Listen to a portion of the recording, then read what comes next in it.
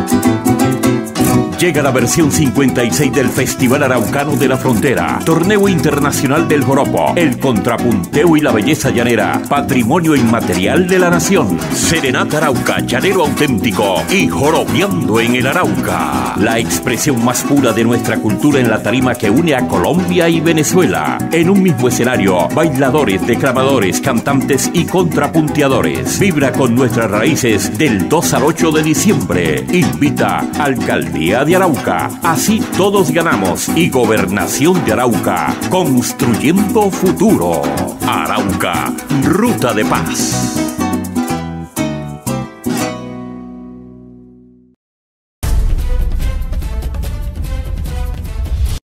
Esta vez, la gobernación del departamento de Arauca se unió a la alcaldía para realizar en conjunto el Festival Araucano de la Frontera y el Torneo Internacional del Joropo, Contrapunteo y la Belleza Llanera. La administración departamental tendrá las actividades del Llanero Auténtico, la Serenata Arauca y Joropeando en el Arauca. Esto que vamos a tener, este festival número 56, es el resultado de trabajar en equipo. De mis frases favoritas, precisamente es trabajo en equipo, arrojar resultados eficaces. Y hasta el momento, en esa misión que me ha encomendado Dios, no me he equivocado. Y, y hoy estoy segura que no nos vamos a equivocar con esta muestra que les vamos a entregar a nuestro municipio de Arauca.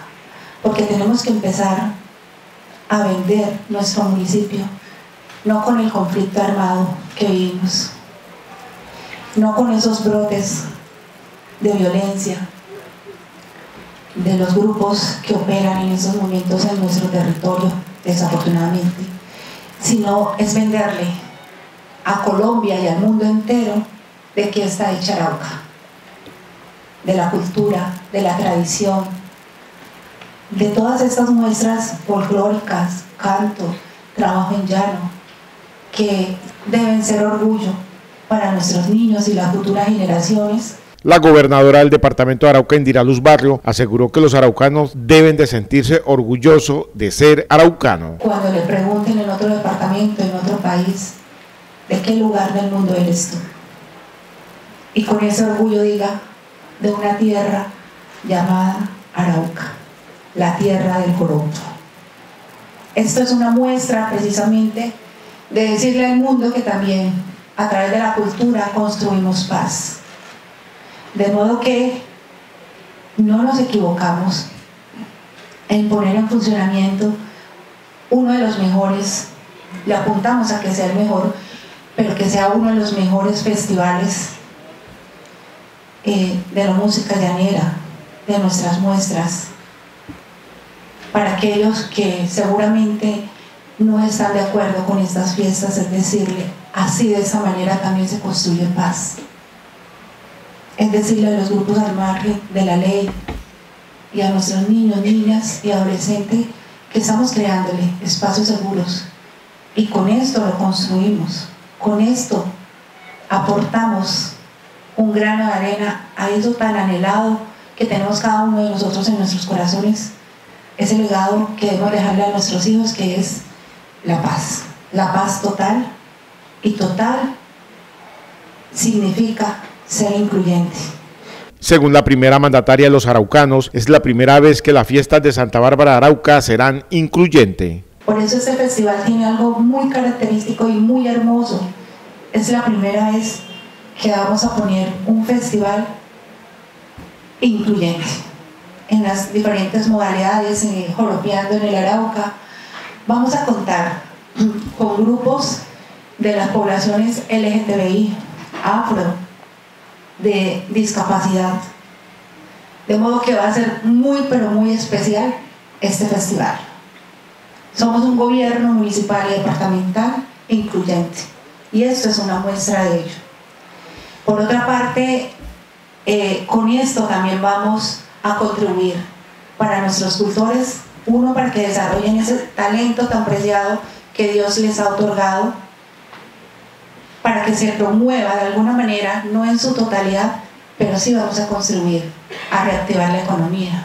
Ya nuestro alcalde lo decía, el doctor Edgar, los hoteles Ya hoy consultamos y no hay cupo en los hoteles. Eso quiere decir que la economía se está moviendo.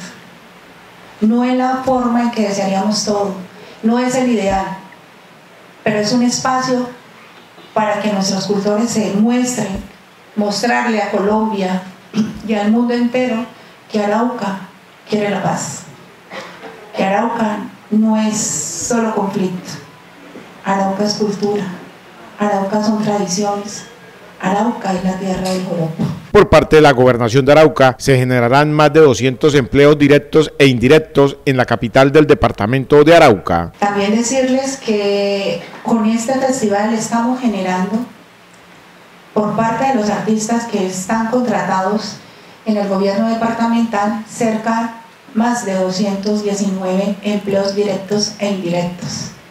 Y otro tanto, otra cifra bastante significativa por parte de la administración municipal. De modo que, sin más preámbulos, eh, invitarlos a ustedes a celebrar con altura, con el decoro que los caracteriza a todos los que habitamos esta hermosa tierra, a mostrar que somos cultura, que tenemos un buen comportamiento y que no queremos más violencia.